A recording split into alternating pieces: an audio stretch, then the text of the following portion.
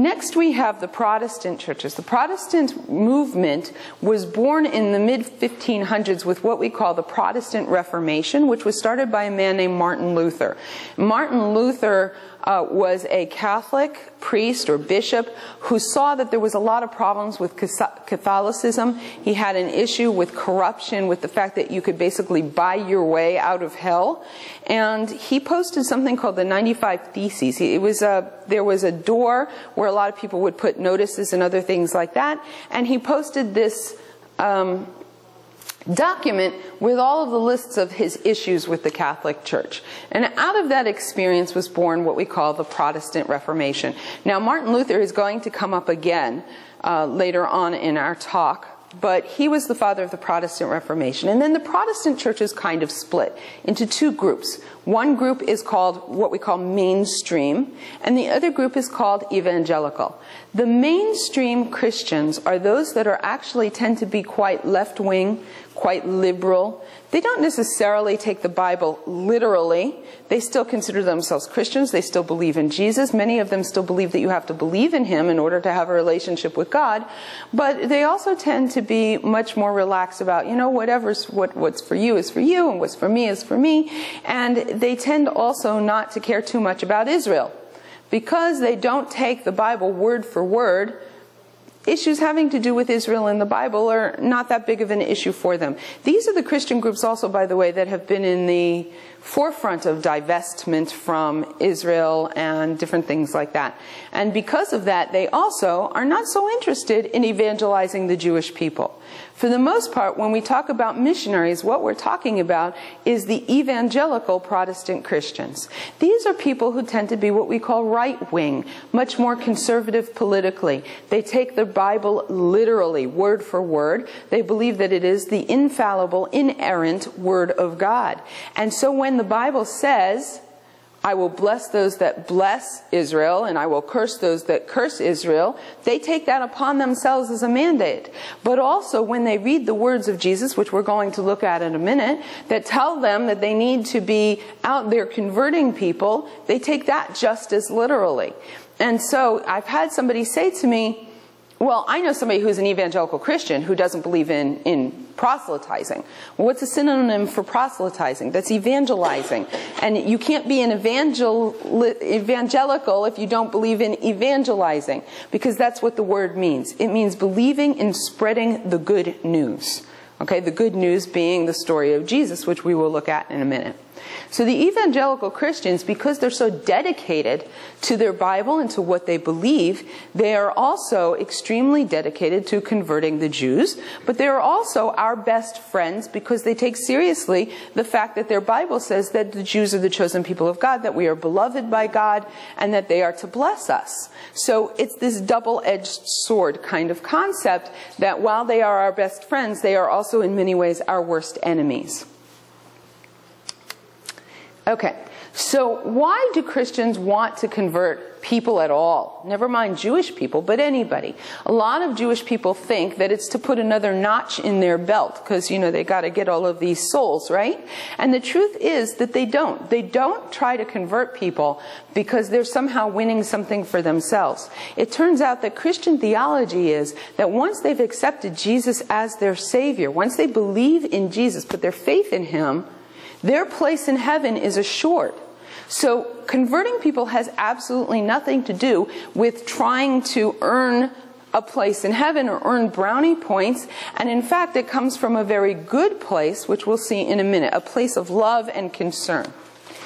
In the Christian Bible, there are four books um, there's more than four books, but the first four books are called the Gospels. And those are the four books that tell the story of Jesus' life and birth and life and ministry and death. Okay?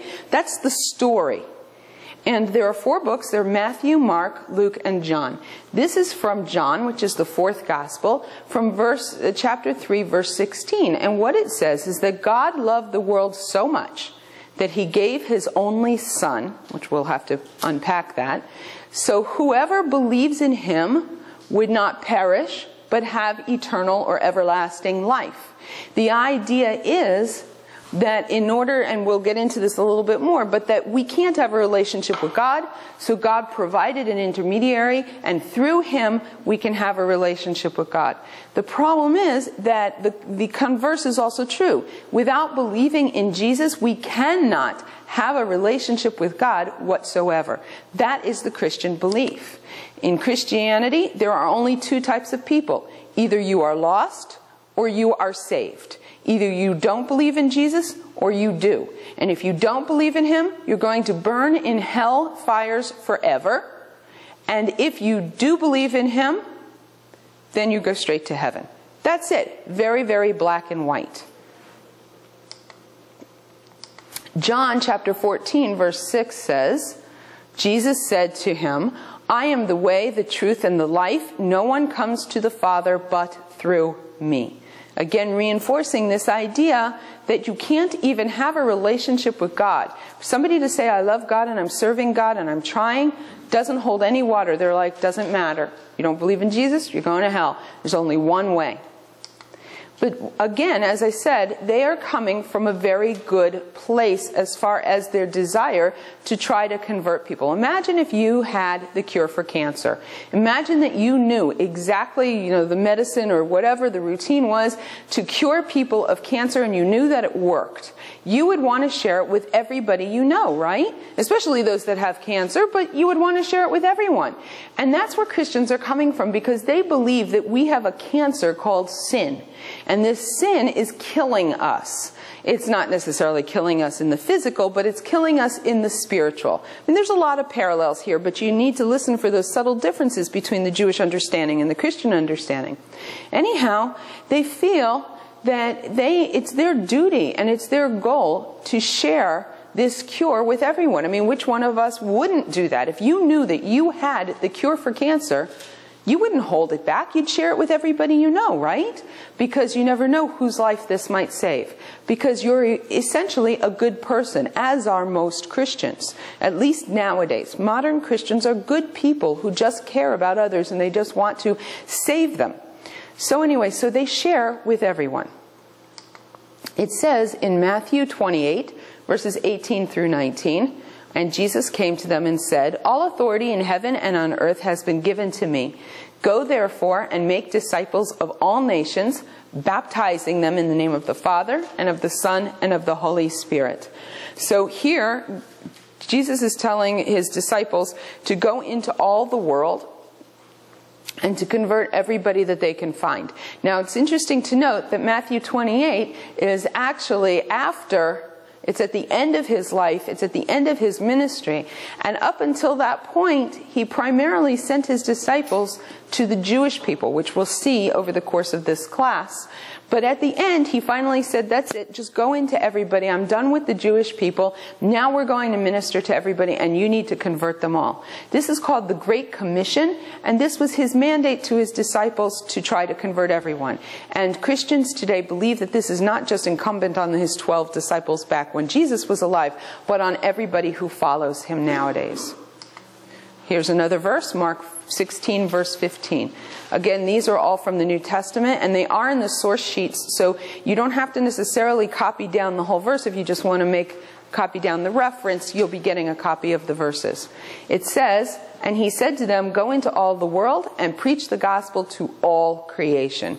So we can see that Christians regard this as a mandate, that every follower of Jesus has an obligation to tell everyone in the world about Jesus.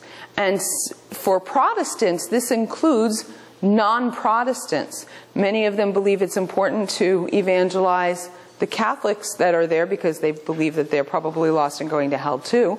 Uh, but anyway, so nobody is um, off limits in the case of this. So Christians also see the people of the world kind of like being fish in an ocean.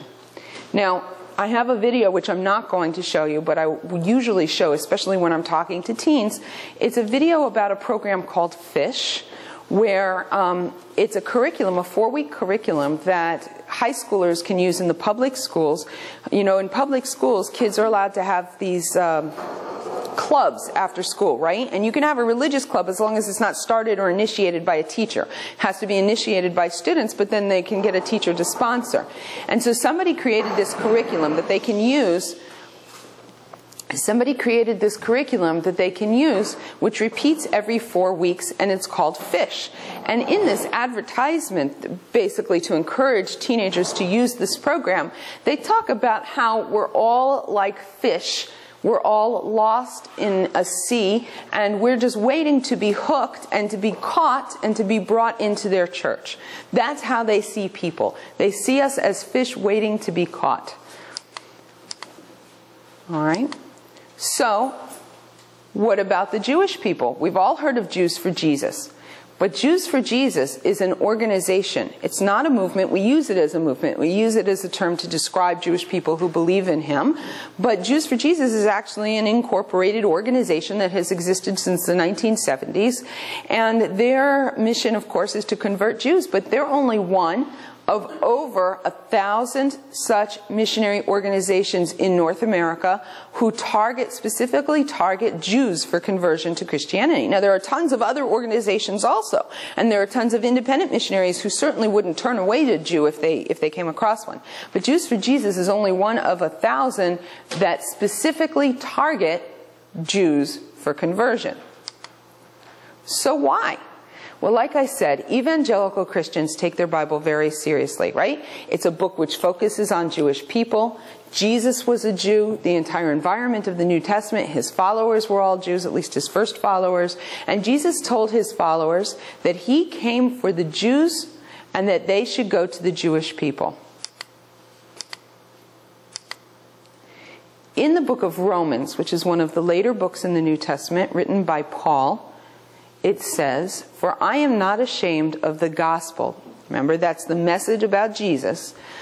It is the power of God for salvation to everyone who has faith, to the Jew first, and also to the Greek. Okay, Greek meaning Gentile. And the idea here is that Jesus came first to the Jewish people. Jesus was from the Jewish people. And so, in addition to owing a debt of gratitude to the Jewish people, so we should go to them with the gospel first, that his, since Jesus had commanded everybody to go to the Jews first, that's who they should go to first. Now, going back to Matthew, which is the story of Jesus' life, it says, These twelve Jesus sent out with the following instructions Go nowhere among the Gentiles, and enter no town of the Samaritans, but go rather to the lost sheep of the house of Israel. And we'll see in a minute another reason why it's very important to them. But because this is such an important thing that is brought out in the New Testament over and over again, this focus on witnessing and, and converting Christians, they believe that the end justifies the means. There is absolutely nothing short of absolute outright lying, and you can kind of bend what that means, right? I mean, you know, what's a lie, right? Um, it's kind of like this. Let's say you were walking by a burning building, and you saw someone inside the building, and they needed to be brought out, they needed to be rescued. Many of us would put our lives on the line in order to save that person. But how many of us, let's say, fantasize with me for a minute, let's say you were wearing an asbestos suit or something like that and you knew that you could go into the building and you would not be injured by going into this fire because you had this protective suit. How many of us would walk by the building with the person inside and leave them there? None of us would, right? We would all go in and rescue the person because we care about people. Now, let's say you got into the building and you go to rescue the person and they start banging you on the chest saying, Leave me alone. I'm happy here. I'm not interested. I don't want to leave. How many of us would just leave that person there and walk out of the building? Not very many. Most of us would carry that person out of the building, kicking and screaming, saving their bodies and worrying about why they had a death wish afterwards, right? We'd worry about getting them to the psychologist after we saved them. That's the way that Christians see us.